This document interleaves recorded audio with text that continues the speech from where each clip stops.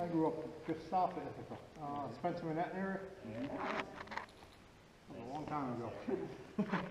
Okay, you can let go of that. I'm just thinking maybe I'll hold them back. Are you a hockey player? You got the CCM jersey. No, it's just, uh, summer gets very hot. And this is a very breathable shirt. It's that skydiving uniform. It's a good guy, I mean, there's about right.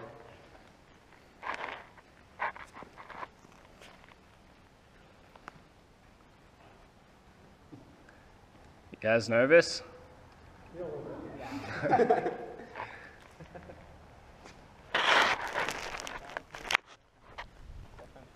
You two are best friends, so you're part of the family? Is this the family? Yeah. Okay. Okay, Yeah, check this. Four. I broke it. John was pressing. So how's everyone doing today? You're all doing a little skydiving? Whose actual original idea? That's my idea. You This is, feeling, my, this is what I asked for my graduation. present. you still feeling good about that? Yeah, yeah. Okay. For, for a couple more minutes. And Jared, best friend, how you doing? Good. I'm, I'm ready to go. Sure. As ready as it's gonna be. All right. Does anybody else want to say anything to these two before they go jump out of a perfectly good airplane? I'll see you when you get get back down here. All right. Sounds good. All right. You'll be waiting for me. Should we do this? Yeah. All right. Nobody bothers me. I went by a cop in a 35 official Over here. I'm going to say knees out. You're going to keep your hands on your harness. Get them up there. Knees out. All, both of them all the way. Are you gonna fall right now? Nope. Head up. Bring your shoulders back. All right. Now come on back in. Once we're out, you're going to bring your arms out. Camera's going to be over here. Give a smile. But right now, it's over there. So I you to All right, give me where's your your name. Jared Kaputkin. Where are you from? Uh, Ithaca. And what are you doing today? Jumping out of a plane. All right.